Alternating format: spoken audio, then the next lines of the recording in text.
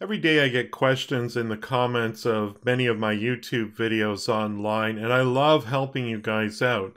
But one of the problems is sometimes those questions are a little bit more complicated than what I can describe in just words. So I've come up with a solution that I can provide an additional service for those that need a little bit more of a visual explanation of how to do something in Adobe Captivate. What I've done is I've come up with a service that I call Video Answers, and you can actually get that from my website. You can purchase that, and I'll provide you a video explanation of whatever question that you have. And the first person to receive this is actually Fundació Eduard Soler. Fundació asked, uh, is there a way to insert images into the advanced answer caption apart from the text. And I have a solution for Fundació, and I'll take all of you through that right now. So to start off with, I'm going to click on the smart shape that I have located on the slide itself, and we'll open up our properties inspector here. And we're going to set up this smart shape to be a multi-state object that contains a series of text captions as well as images. So uh, we'll go into state view at this point here. We're starting off with just the blank image. And uh, we're going to create a new state. And the first state we're going to create is going to be called Justin. And Justin Trudeau is the correct answer to this question. So what we're going to do is we're going to do a couple of things. We're going to change our fill style for this smart shape into an image fill. And then we're going to click on fill itself and use the folder icon to select an image from our library. If I hadn't already imported these uh, images into my library, I could do so now using the import button one by one. But I already have these, so I'm going to select that and click OK. And now I have an image of Justin Trudeau for this particular state of this object. Now I can add additional objects. Now this is a uh, non-responsive design project. So I can add additional uh, items to this multi-state object. Let's start off by adding this shape here. And I'm going to just draw this out something like what I would expect a caption to look like. Uh, we'll change the color to denote that this is a correct answer. We'll choose a color green here. And I'm just going to write the text in here. Correct. Justin Trudeau is the Prime Minister of Canada. Click anywhere or press Y to continue.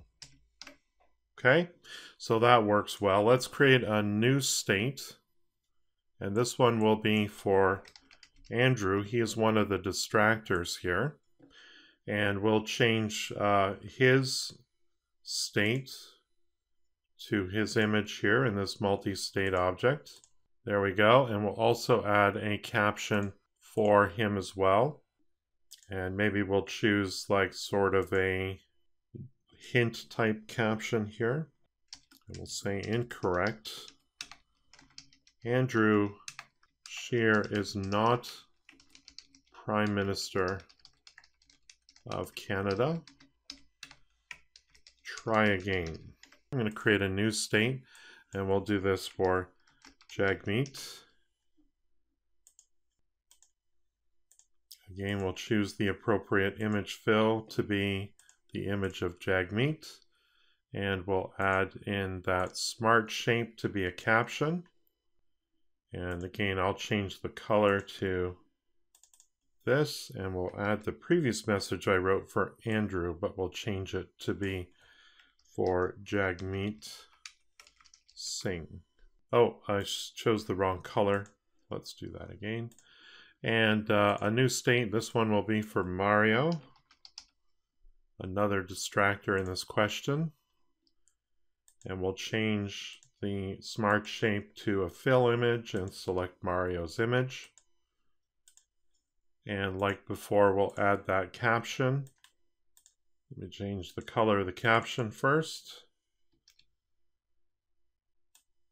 And we'll just change the name to reflect Mario. There we go. So I think we're good to go. Let's, uh, oh, let's change the color again to the right color there. Let's exit the state view. And uh, let's take a look at the specific advanced answer options for each of these. Now for Justin Trudeau, he's the correct answer, so I'm not going to uh, change the multi-state object from here. I'm going to change that from the quiz panel. But for my distractors, I'm going to check advanced answer option. The action will be to change the state of my smart shape to each one of these items. I'm going to uncheck continue playing the project. So again, for Jagmeet, we'll uh, change state of the smart shape to Jagmeet. Uncheck continue playing the project. And the same thing for Mario as well. So we're going to change the state of that to Mario. He's the only one left there, and we're good to go. So that pretty much sets up this to automatically change uh, to the different uh, distractors. And we go to our quiz panel, and uh, we don't want to select a caption for the correct answer.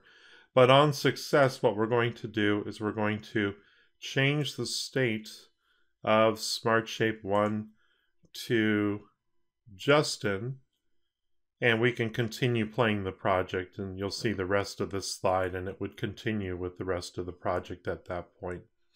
Um, and of course with um, with this sort of style of uh, of um, knowledge check, of course, uh, infinite attempts makes sense here because you're just really giving them an opportunity to learn what it is that they should have learned in the first place.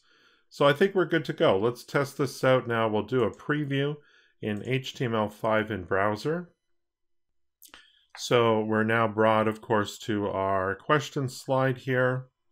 And let's try a wrong answer first. We'll hit submit. We get the feedback that Jagmeet Singh is not the Prime Minister of Canada. So let's try getting it right. We made a mistake there. Uh, we'll choose Justin Trudeau. We'll hit submit it changes. And of course, as you saw in the timeline down there, it continued with the rest of the project. So, uh, and of course, you'd want to time your slide appropriately so that uh, this displayed on screen for a long enough period of time. If you thought this video was useful, please share it with your colleagues. If you need help with your next e-learning project, consider hiring me. My focus is to create effective e-learning that helps you achieve your business goals.